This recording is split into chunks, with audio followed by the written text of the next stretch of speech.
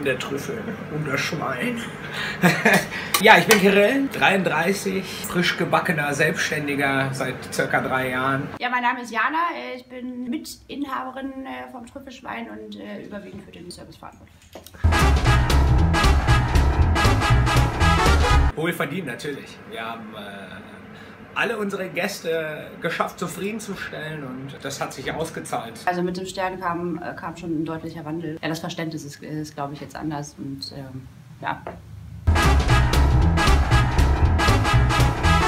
Möglichst lecker, das ist das Wichtigste. Es muss lecker sein, es muss meinen Gästen schmecken und äh, alles andere gibt sich, glaube ich, immer von selbst. Wir haben, Grundstock der Küche ist, ist französisch mit äh, internationalen Einflüssen. Also wir picken uns da immer so ein bisschen was aus der asiatischen Küche raus, äh, aus der spanischen Küche, äh, aus der italienischen. Wir haben tatsächlich das ganze Jahr durch Trüffel. In dem Sommer, Sommerzeit ist der Trüffel natürlich eher ein, ein Schmückungsobjekt. Im Winter ist es meine, meine persönliche auch große Leidenschaft. Es gibt immer Schwein, es gibt aber immer iberisches Schwein und zwar vom grandiosen äh, Hersteller, der seine Schweine wirklich auch draußen leben lässt und nicht im Stall.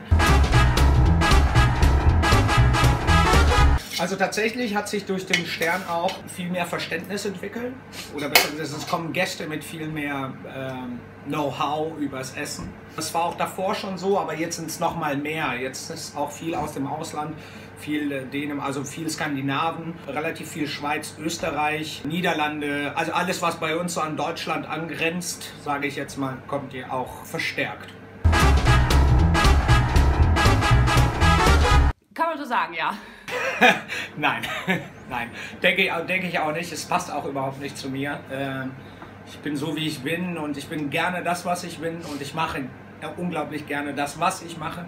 Äh, ich habe da extrem viel Spaß dran und das möchte ich auch zeigen und das, äh, damit, so bin ich auch mit meinen Gästen und so bin ich auch äh, mit meinen Mitarbeitern und so bin ich mit meiner Familie. Also ich bin so, das ist schön, schön so zu sein.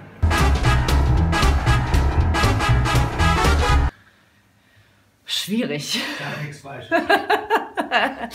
ähm, ich glaube beide. Das ist ganz klar. Das bin ich.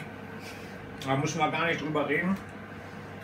Und egal, was meine Geschäftspartnerin sagt, ihr habt nicht nur die Hosen an, sondern auch noch die schöneren.